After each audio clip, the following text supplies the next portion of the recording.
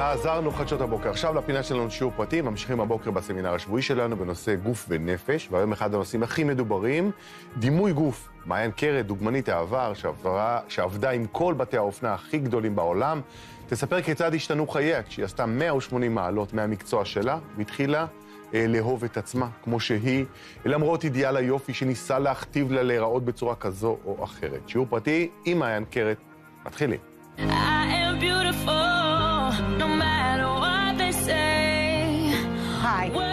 אני מעיין קרת ואני מנהלת את Changing Model, המרכז לקידום דימוי גוף חיובי. בשנות ה-90 הייתי מה שמכונה top model.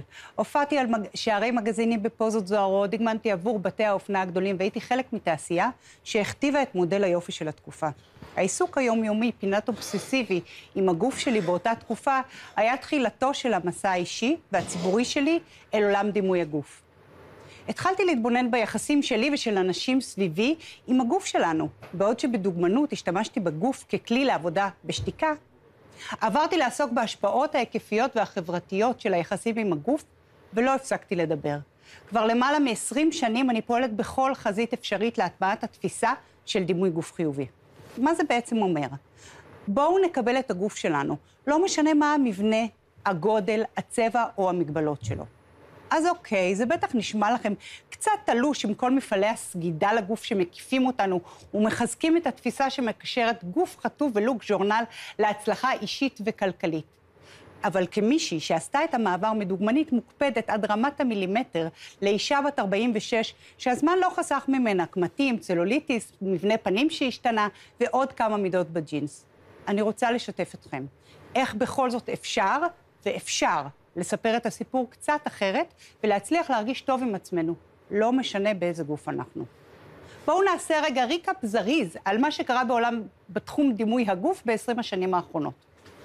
אקטיביסטיות, חוקרות וסופרות ברחבי העולם החלו להשמיע את קולן ולהציף נושאים של דימוי עצמי ותסביכי גוף באופ... באופן שעודד נשים נוספות, ואני ביניהן, להסתכל סביבנו ולהבין שהי, אנחנו לא לבד. חוסר הנוחות הזאת עם הגוף עד כדי סבל לעיתים קיים אצל רבות ורבים. ואם אני לא היחידה שמרגישה ככה, יכול להיות בעצם שזו בעיה חברתית? אחרי ההכרה הגיע השלב המאתגר של יצירת שינוי תודעתי וחברתי. הבנו שבכדי להפחית את האשמה והבושה הפרטיים שלנו, נדרשים שינויים בייצוג של מבני גוף וסוגי נראות. כמו שאומרים, לעדכן גרסה. התחלנו לערער על מודל היופי הישן ולתת מקום לתפיסות אסתטיות חדשות. מה שנחשב נורמלי או יפה הפך מגוון ונאמן יותר למציאות, ופחות מקובע תחת מודל אחד. הרשתות החברתיות, שהן אמנם גם חלק מהבעיה, אבל גם מנוע אדיר של שינוי, נתנו עבודה והתחלנו לראות את המהפכה בפרסומות, במודעות ובשיח הציבורי. אז יופי. ניערנו קצת את המוסכמות ובעטנו בסדר הישן. למדנו שלפגוע בעצמנו מתוך רצון להרגיש טוב זה פרדוקס. והתחלנו לדבר במושגים של מגוון וספקטרום. עכשיו, כשנקודת הפתיחה השתנתה, בואו נחזור רגע ונראה איפה זה פוגש אותנו ברמה האישית, כל אחד ואחד. איך אפשר להשתחרר קצת מהביקורת העצמית והחברתית שכל כך מפחידה אותנו. במסגרת ההרצאות והסדנאות שלי, יצא לי לפגוש כבר אלפי אנשים ונשים. מהם אני שומעת הרבה על הפחד. רוני, אישה בת 30, אמרה לי לא מזמן בסדנה, אם אני אקבל מבני גוף שונים וגם אקבל את ההשמנה ואת ההשתנות של הגוף כדבר רגיל וטבעי, אז נראה לי שאני אהיה מוזנחת. יעל, משתתפת נוספת, הוסיפה, יש מצב שאהיה דחויה. אם, אם אני אשחרר את האחיזה במרדף אחרי הגוף שאני עובדת כל כך קשה להגיע אליו, אני אוותר בבת אחת, לא יהיה לי עניין לעשות ספורט, לא אוכל לאכול בריא. מה יקרה? מה יגידו עליי? בואו נשחרר רגע את המה יגידו עלינו מבחוץ, ונחזור אליו בהמשך, אל תדאגו, ונדאג לגוף שלנו. לוותר על המרדף לגוף מושלם לא אומר להזניח, זה אומר לגשת אליו מצד אחר. דמיינו ילד שנזפו בו ללא הרף, כי הוא לא הצטיין מספיק בלימודים, ופתאום הנזיפה מתחלפת בתמיכה, באמון, בקבלה. במקום להיאבק על המצוינות, הוא מפנה את המשאבים להשקיע בדברים שהוא באמת אוהב, ומממש את אותו פוטנציאל לא ממומש. אותו דבר לגבי הגוף שלנו. לקבל את האנושיות ולהשלים ממה שלא נראה לנו יפה, לא מוריד מהמוטיבציה שלנו לשמור עליו ולדאוג לו.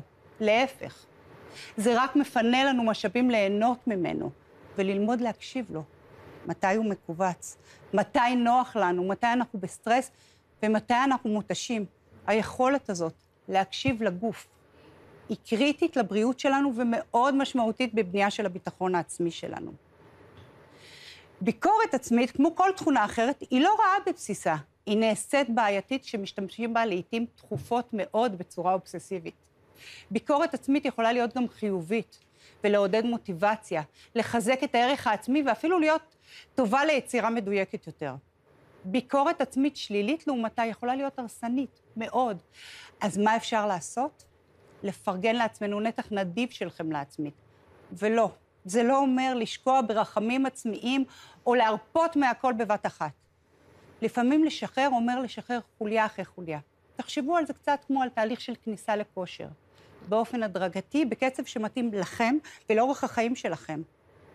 וזו ממש לא המצאה שלי. מחקרים מראים שאנשים שמגיבים בחמלה על הפגמים שלהם, במקום להלקות את עצמם, זוכים בבריאות פיזית ונפשית. רמות גבוהות יותר של חמלה עצמית קשורות לרמות נמוכות יותר של בושה, אשמה, מבוכה וקנאה הקשורות לגוף. ככל שנצליח להגביר את החמלה העצמית, נצליח גם לשמור על דימוי גוף חיובי, שיהדהד גם על הסובבים אותנו. איך עושים את זה? תחשבו על משהו שאתם לא מרוצים ממנו בגוף שלכם. הבטן, הזרועות, האף, השיער, כל דבר שמטריד אתכם. נסו רק לשנייה להתייחס אליו פשוט כאנושי.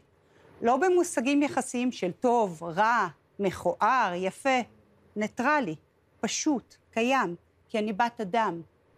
כרגע אתם עשויים להרגיש שזה קצת מאולץ, ולא באמת ישים, לגיטימי. זה עניין מורכב, מאוד מורכב אצל רובנו, ואנחנו גם לא מאוד אוהבים לשנות דפוסים ישנים. ובכל זאת, נסו רגע להביט על הדברים קצת אחרת, ואם לא הצלחתם, זה ממש בסדר, זה גם לגמרי אנושי. אז ניסינו, והקשבנו קצת, חמלנו וקיבלנו. מה נעשה עם מה יגידו? מכירים את הקול הפנימי שטורח להזכיר לכם שהעולם בחוץ לא בהכרח חומל וסלחן? שלוחש לכם בערמומיות שאחרים לא רואים אתכם ככה, ושיש סיכוי שתזכו בתגובות ומבטים שיפוטיים? מתיש. תראו, אנחנו חלק מתרבות וחברה, וזה ברור, ואפילו חשוב שנרצה להרגיש מותאמים ושייכים. תזכירו לעצמכם שכולנו אנושיים, ושחוקי התרבות כרגע לא בעדנו. ובגלל זה חשוב ועוזר גם לחוד וגם ביחד, שנדבר על זה ונייצר מבט נוסף, שנשנה את ההגדרות האלו לאט. להזכיר לעצמנו כל הזמן שאפשר לראות טוב, גם אם זה קצת off trend, וגם אם מבנה הגוף שלכם לא תואם את אידיאל היופי העכשווי. חוץ מזה, כמה זה משעמם שכולם נראים אותו הדבר.